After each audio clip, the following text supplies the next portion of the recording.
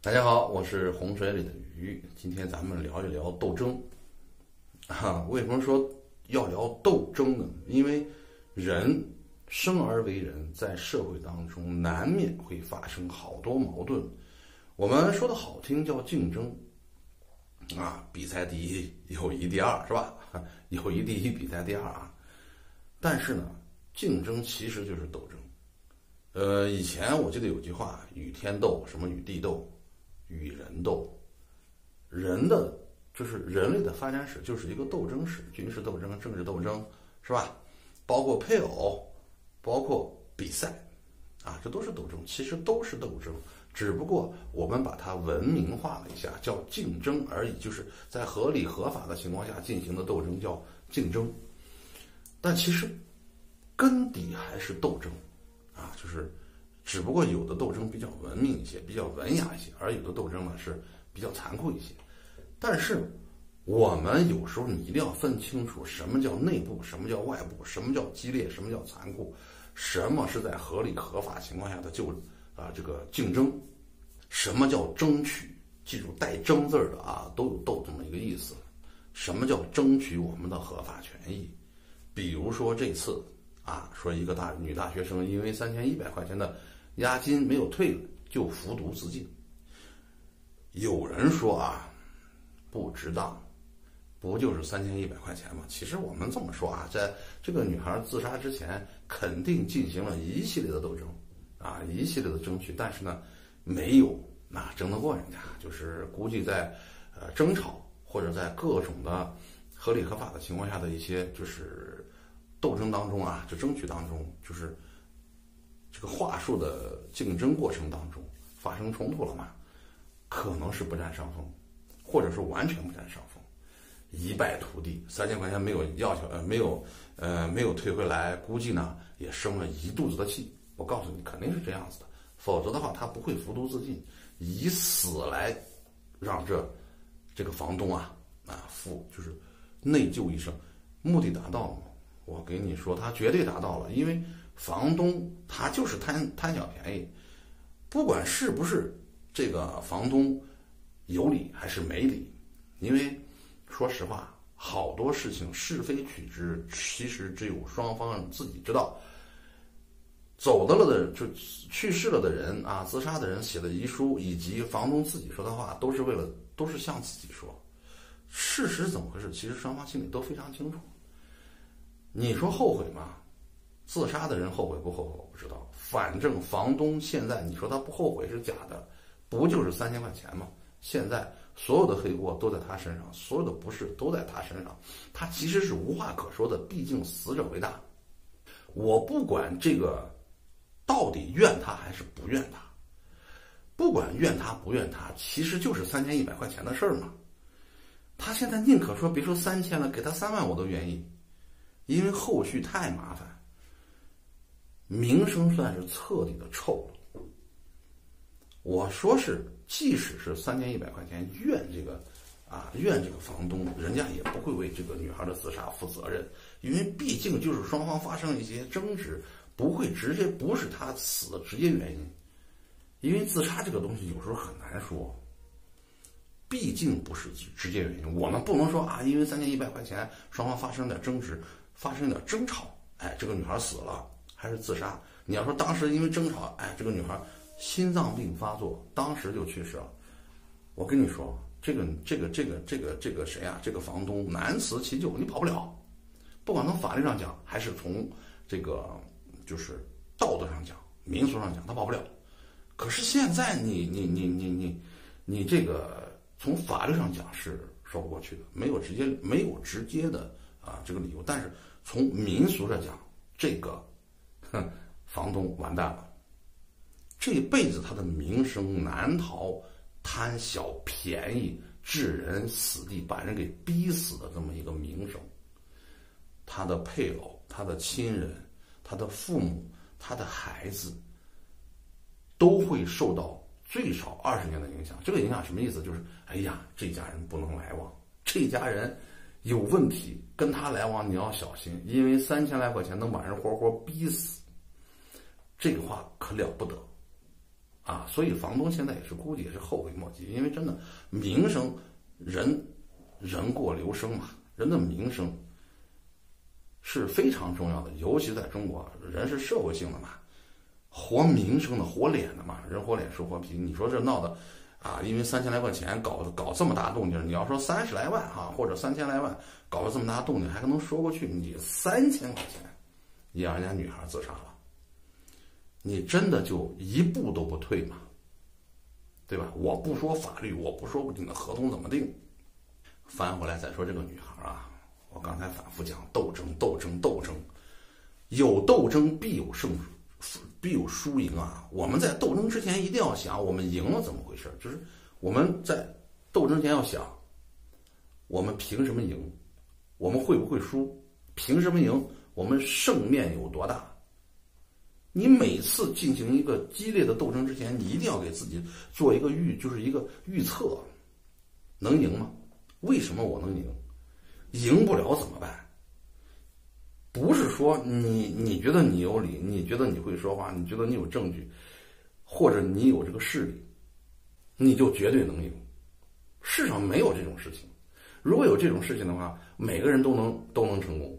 但是话说回来，人家对方也一样，对方也会全力以赴和你进行斗争啊。争取不是单方面的，那是多方面的。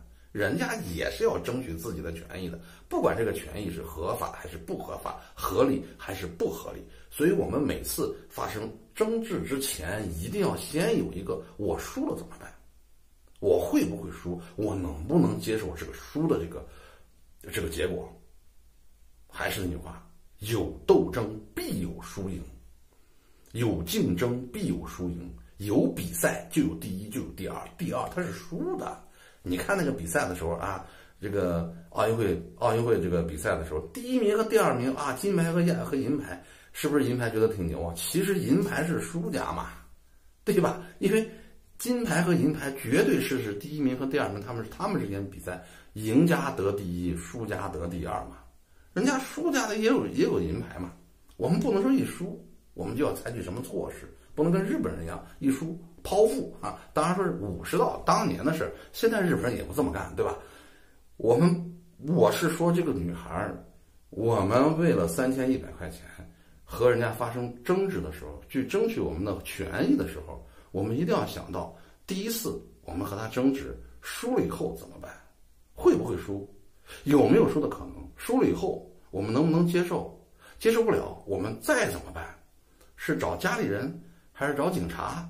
还是打官司告他，那需要一手、二手、三手，那得有好几层准备，不能说我们一输，然后就生了一肚子气。肯定谁输了也不愿意，即使是奥运冠军拿银牌那种，老是哭哭啼啼的，告诉你，因为他是输了的嘛。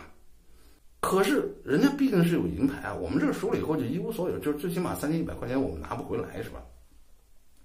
然后肯定嘛，比如说再发生点。对骂之类的，比如说啊，这这假设啊，不一定非要真是那么回事。我现在说的不是说这个女孩这个事儿，而是说好多人都有这种事情，接受不了我们失败的这种可能，或者说我们在发生争执之前没有，就是给自己有一个失败了的这个格景场景的设定。我觉得人家有的人就这方面就特别的牛，就是说我跟你发生发生和你发生争执。第一次输了没事儿，我们重整旗鼓，啊，卷土重来，再从另外一个方面和你发生争执。这种人叫什么？缚虎之躯。有时候不是说他对还是不对，他的权益合法还是不合法。好多时候人为什么能赢，不是说人家占理或者人家法律上允许，而是这种锲而不舍，围追堵截，不达目的誓不罢休。而不是说我们输了以后我们非常生气，我们这个事情就啊什么天理不容啊，社会黑暗呀。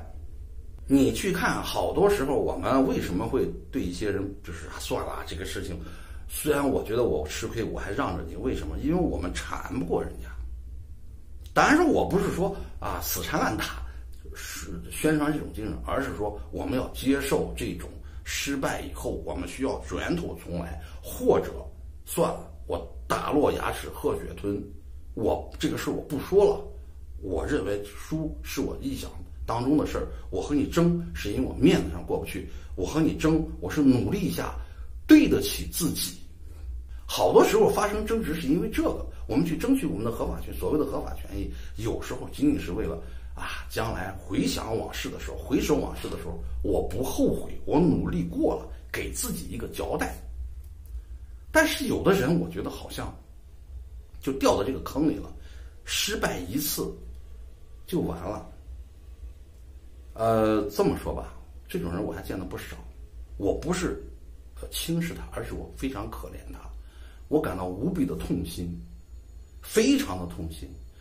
好多时候很小一件事情发生争执，哎，发生争执之后，对方就是失败的这一方。就会发生好多极端的事情，不是说他非要喝服毒自尽啊，或者是是是是怎么怎么怎么，他比如说痛哭啊，就是这种就是痛哭流涕啊，几天不吃饭呀，啊，就是多少年都和你不说话。你知道，有的人一旦和你发生一次争一次争执之后，如果他输了以后，他可能今生今世都不和你说一句话，然后这个人就永远的从你的社交圈子里就消失了，你会觉得不可思议。有的人你知道一条胡同，我就见过这种人，一条胡同他都不和人说话。今天你不对，明天他不对，只要说不对，马上和你不说话，就就封闭上了自己的这个是就是和外部沟通的这这种这种渠道。当然说这是性格使然啊，所以我们有些时候，如果我的朋友当中有这种人，我们要还是要注意一些，就是要沟通要有一个方式方法。毕竟我们，呃。